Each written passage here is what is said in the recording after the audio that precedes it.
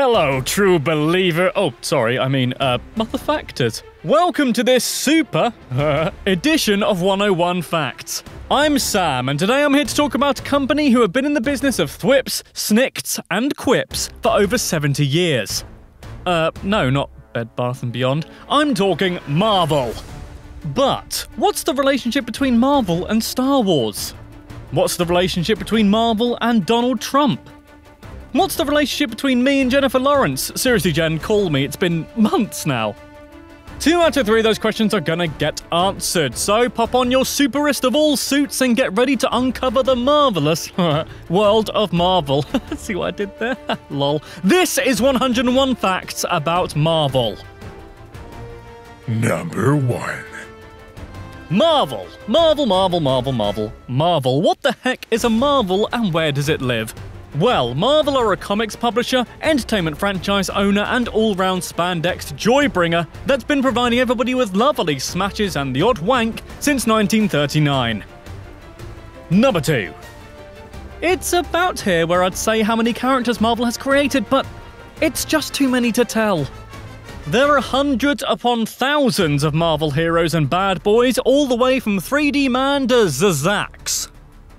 Number 3. Alright, maybe those names you don't necessarily recognize, but here's some you will. Marvel's stable includes Iron Man, Hulk, Thor, Captain America, Spider Man, Black Panther, Bill Nye the Science Guy, Doctor Strange, Ant Man, Iron Fist, Jessica Jones, Luke Cage. Number 4. The Avengers, the Defenders, the X Men, the Guardians of the Galaxy, the Backstreet Boys, and the Fantastic Four.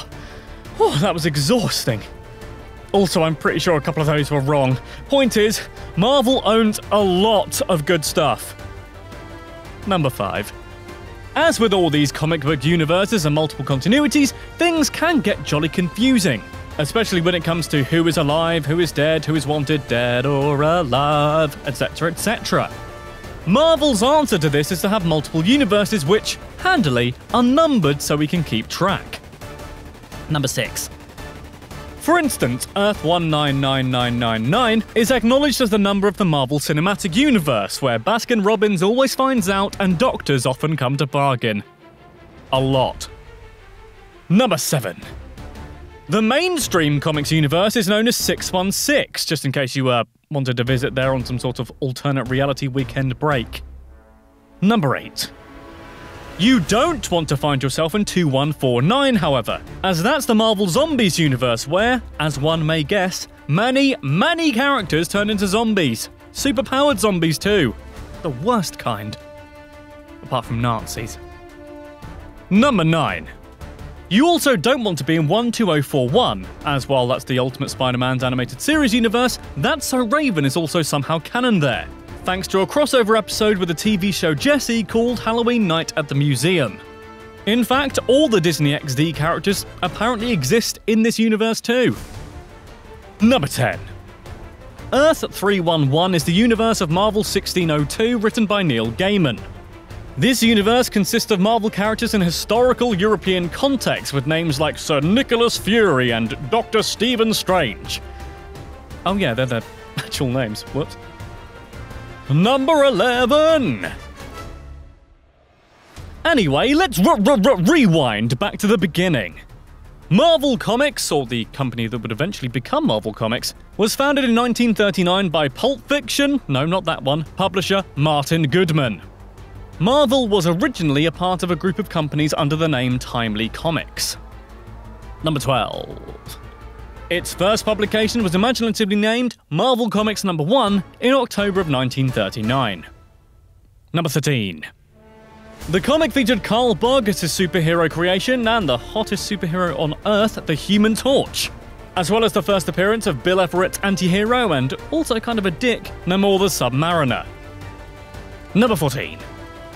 A young, aspiring writer named Stanley Lieber joined the company with the help of his uncle in 1939 as an assistant. Hmm, I wonder who this guy would grow up to be. Number 15. Lieber's duties included getting lunches for the artists and writers and making sure there was enough ink in their inkwells. He didn't know at the time, of course, but Lieber would become arguably the most iconic comic writer of all time and even have his own Lego minifigure made out of him. Is there any greater honour? Number 16. In 1941, some guy called Captain America, never heard of the fu- Sorry, made his first appearance in his own comic. Cap was created by Marvel's first editor Joe Simon and art director Jack Kirby. Number 17. The story Captain America Foils the Traitor's Revenge, a text based story which, fact fans, included the first instance of Cap using a shield as a weapon, was written by Stanley Lieber under the moniker Stan Lee. Dun dun dun. Oh, I shot my wad a little bit earlier with that reveal, didn't I? Basically told you earlier. Dang it. Number 18.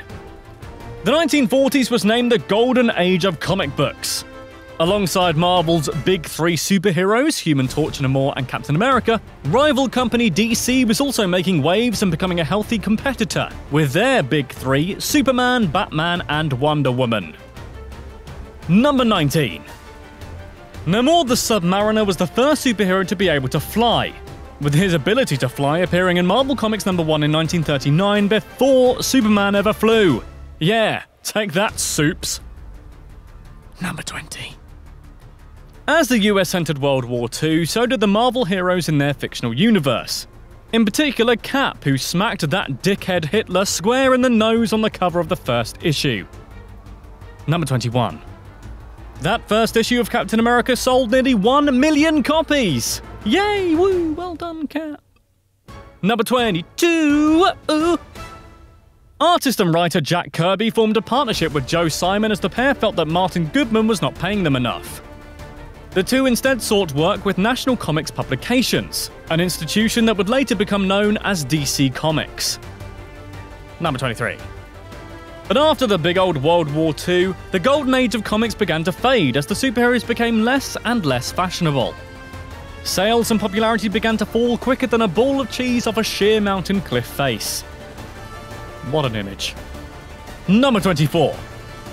It was because of this, not necessarily the cheese, but the unpopularity bit, Timely cancelled upcoming issues of Captain America in 1954. Number 25.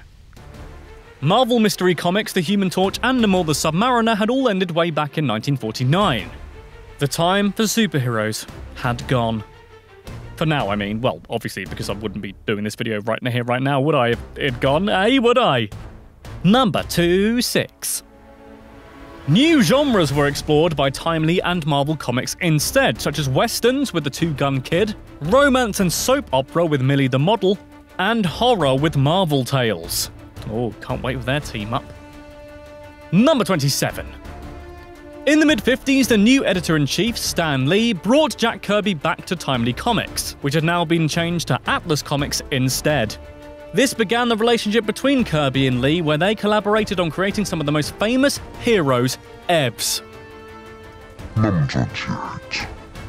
By 1957, Atlas Comics was dead. Marvel Comics became the official company name. Number 29. The 1960s would introduce some of Marvel's more well known heroes to date, as superheroes became more popular again. But it all began, or rather re began, if that's a word, which I'm sure it isn't, doesn't sound right in my mouth, with the Fantastic Four. Number 30. Stan Lee was called upon by Goodman to create a series about a group of superheroes that could rival DC's hit baddie smasher fest, the Justice League of America. Number 31. This superpowered New York family was created in 1961. The aim was to have them reflect real family values, which apparently made it a huge success at the time. Yep, we all have that one member of our family made of rock. Oh, that reminds me, I need to call my brother. Number 32. Jack Kirby was Lee's partner on the project, and together the creators produced 100 issues of Fantastic Four. Number 33. There is some dispute between Kirby and Lee about who actually had the idea of the Fantastic Four. Lee claims he gave a synopsis for Kirby to draw, but Kirby urges that he came up with the idea for the four and Lee just added dialogue. Number 34. However, the pair clearly put this to one side briefly in the Fantastic Four number 10, as Lee and Kirby themselves appear within the story. Stan Lee appearing in one of his own stories? That's so unlike him. Number 35. Lee, Kirby, John Romita Sr., and Steve Ditko would then work together and begin placing the foundations of the Marvel Universe, creating teams like the Avengers and the X Men in 1963. Number 36. And along with these great heroes came some wicked, both in the traditional sense and the 90s sense, villains for them to defeat. For example, Doctor Doom, Magneto, Galactus, and Don. Oh no, wait, he's real, isn't he? Number 37.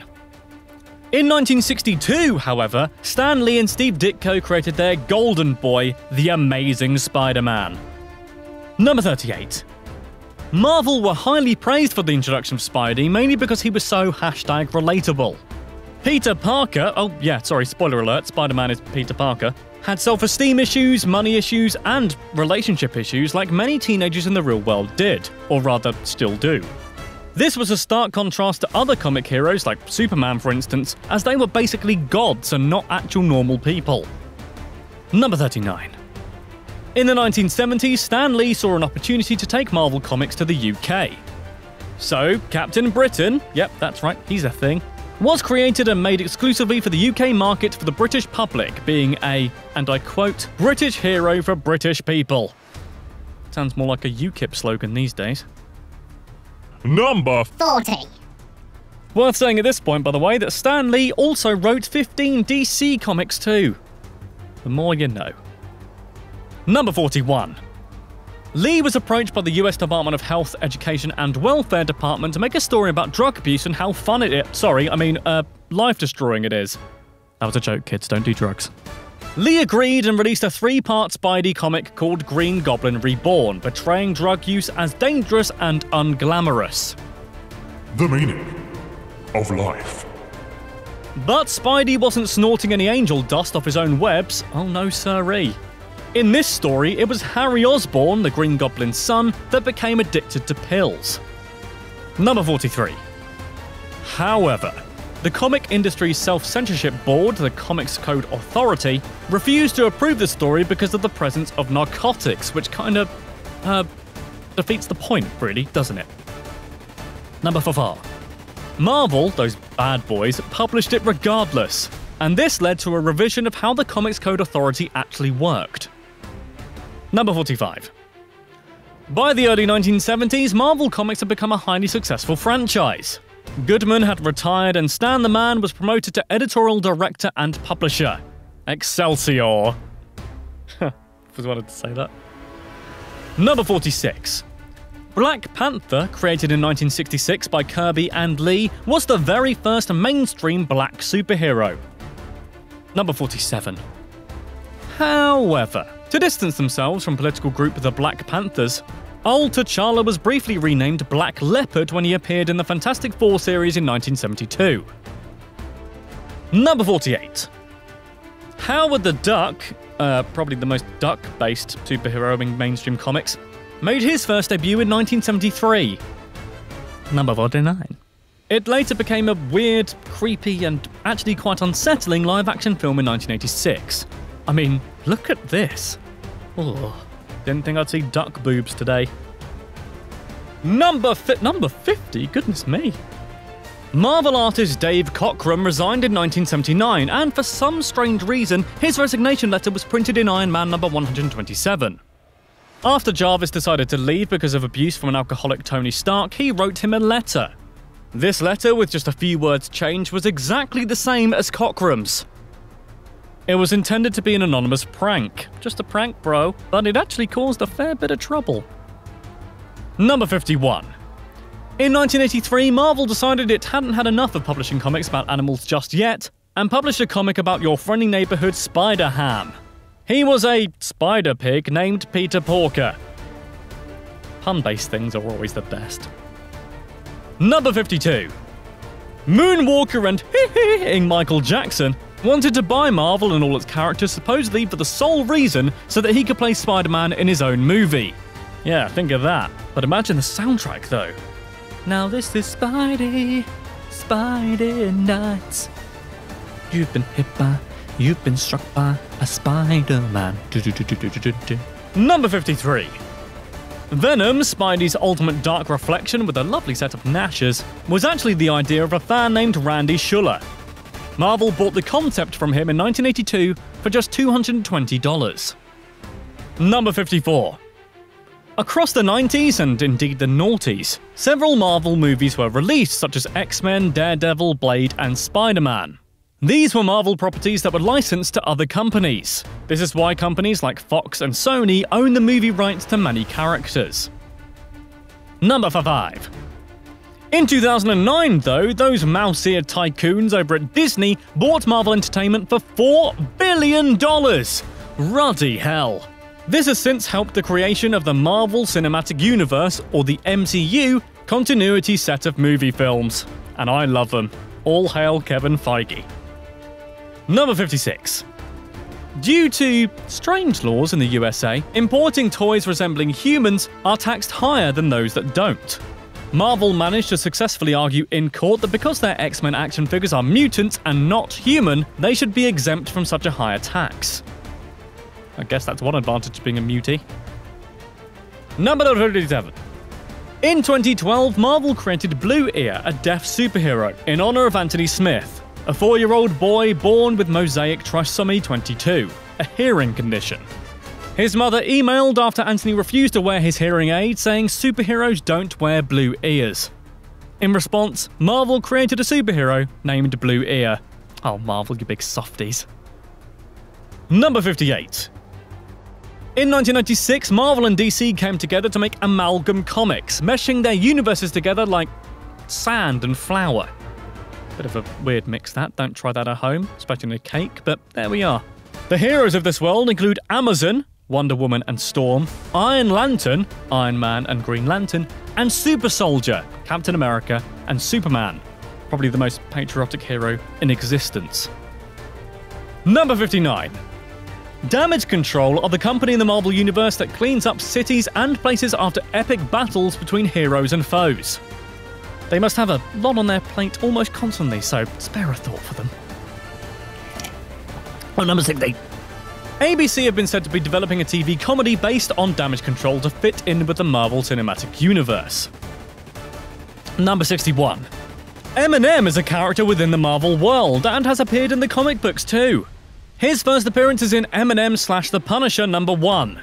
His powers include not wasting your one shot, not missing your chance to blow, and embracing opportunities that come once in a lifetime. It's a joke straight out of the noughties for you there. Number 62. President elect Donald Trump also makes an appearance in Marvel Comics. Well, kinda. Kinda makes several, actually. In 2016, Spider Gwen Annual, in an alternate reality, there is a villain called MODOK who. um. looks kind of familiar, don't you think? Number 63. Back in 1984, there was also a Daredevil villain who was a showman with wig like hair, not that I wish to assume anything. His name was Trump. Nintendo 64. The real, actual Trump also makes an appearance in New Avengers number 47. His limo is blocking an ambulance, so Luke Cage lifts it out of the way, to which Trump threatens to sue before eventually getting scared and driving away. So, yeah, uh, Marvel don't exactly have a great view of him. Number 65. In quite possibly the most ill judged decision in history, a comic featuring a resurrected Princess Diana as a mutant superhero was almost released in 2003. It was called, and I sh you not here, Die Another Day. I mean, holy wow. I kind of want to read it. Number 66. Destiny was supposed to be Mystique's girlfriend, but the Comic Code Authority didn't allow Marvel to have same sex relationships. Ooh, shame on you. Number 67. There's also a Captain Marvel. Well, actually, there's several Captain Marvels. It's all a bit complicated. But allow me to explain. Fawcett Comics first published Captain Marvel, aka Shazam, in 1939. Number 68. However, publishing was ceased because of a copyright infringement lawsuit from DC, who claimed they had copied Superman. Number 69. During the 60s, Marvel trademarked Marvel and everything with Marvel in it. So, in 1968, they launched their own Captain Marvel. The consequence of this was when DC released their Captain Marvel comics, they had to call him Shazam instead. Number 70! In order to keep this trademark, Marvel had to release a comic with Captain Marvel in it every year. Number 71. 2019 is said to be the release date for the Captain Marvel movie, as it happens, starring the wonderful Brie Larson in the title role. Ah, Brie, what a lovely lady. Number 72. Thanos, the big purple guy in the sky, and no, not that kind of purple guy, Five Nights at Freddy's fans, is a pretty important bloke. He's one of the biggest bads in the whole Marvel universe, having faced many different Marvel heroes, often all at the same time. He also has his own helicopter, called the Thanos Copter, which I hope he uses in Infinity War. Oh yeah, sorry, he's also the primary antagonist in the Infinity Wars movies. Number 73. These days, the Hulk is known as a core member of the Avengers. But he actually quits the Avengers in the comic Avengers number 2, i.e., the second issue, and was never an established member again, even though he appeared many times in comics with them. Number 74. The first time he was actually recognised as an official member was over 50 years later in Joss Whedon's bloody ball breaking movie Avengers Assemble, or The Avengers as it was called literally everywhere else except from the UK. Number 75.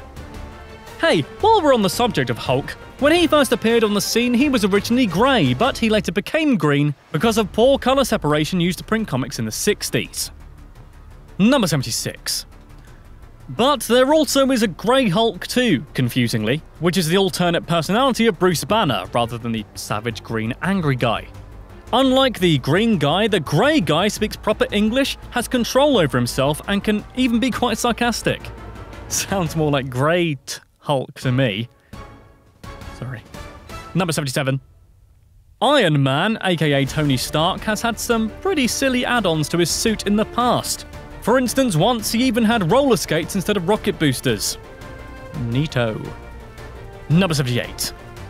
A young George R.R. Martin, aka writer of Game of Thrones, once wrote a letter to Stan Lee and Jack Kirby to correct a continuity error, and probably complained there weren't enough boobs or dragons or boobs. In fact, he wrote in several times expressing his admiration for Marvel, though, well, it all sounds very sarcastic now, doesn't it? Number 79. Marvel actually owned the rights to the word zombie between 1976 and 1996. People ignored this and obviously still used it anyway, but hey, it's a fact. Number 80. George Romero, aka Godfather of the Dead, did once attempt to work with Marvel to produce a comic book movie. However, plans were dropped after Romero's Day of the Dead flopped in 1985. Sorry, Georgie. Number 81.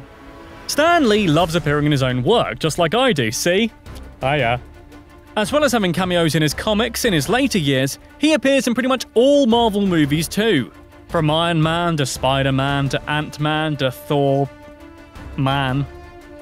Number 82. He's also been in Robot Chicken 2 as himself.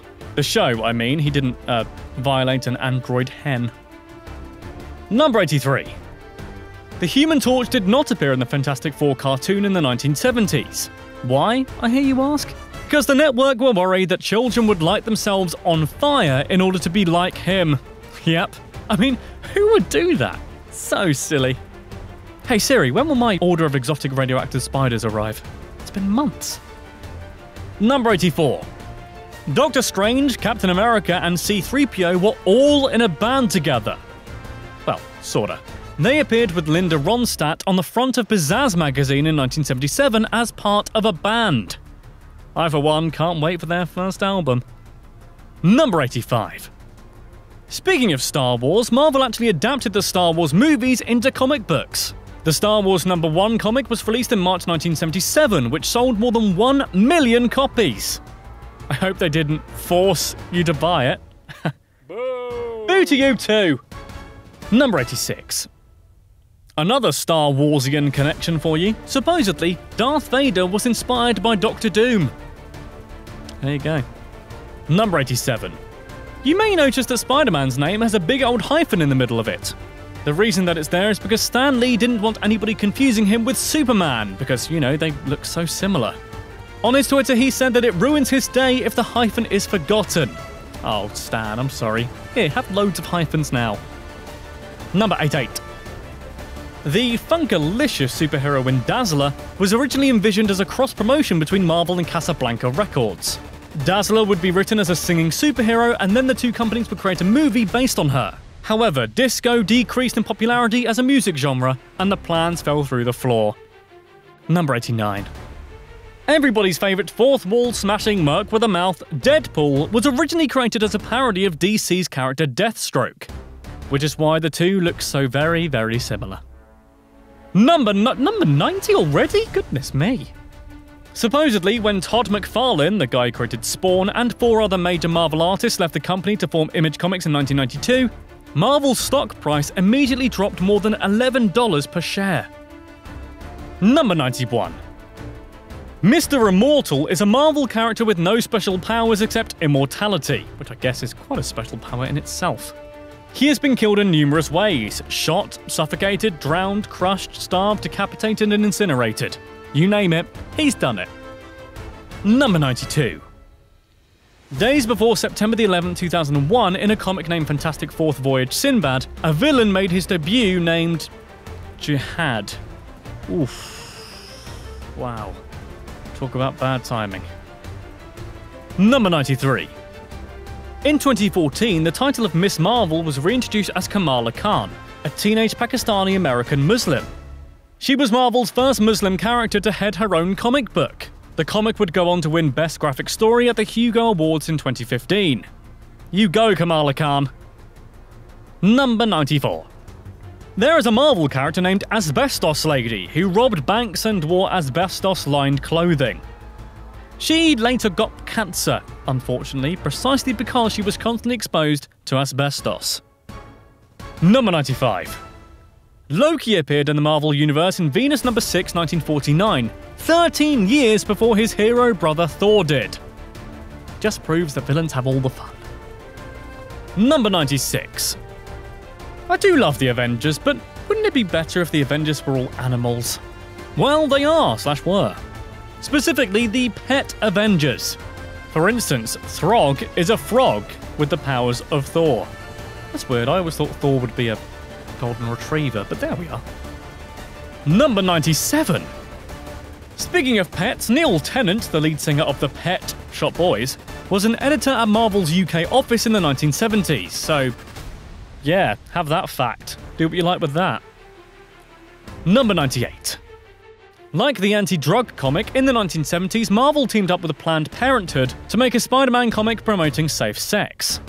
In it, an alien named the Prodigy is trying to encourage teenagers to have unprotected sex. No doubt he told them to smack their bitches up.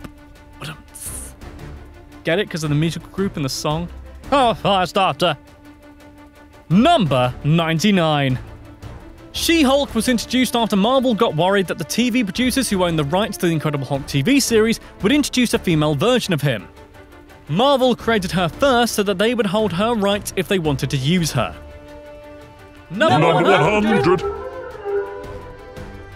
The Marvel heroes aren't unkillable, you know. Both Deadpool and the Punisher both have separate comics where they kill every single character in the Marvel universe. They are bloody fun to read, actually. Although the Punisher kills himself at the end, so not all fun and games. Number 101!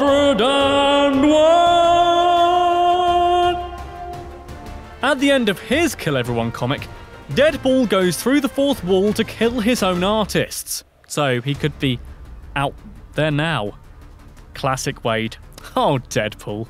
Maybe I should do a 101 on him. Hmm. That was 101 facts about Marvel, everybody. And I don't know about you, but I had a marvelous time. marvelous. oh, I need to reflect on my life. If you want more 101 fact videos, like I really quite badly need a haircut now, then click on subscribe right now and you will get exactly that. Go on, just give it a click. It's so easy. It's just down there. Just click on it. Go on. Make my wish come true. Click. It's not even what you do to click, is it? Oh, I'm tired.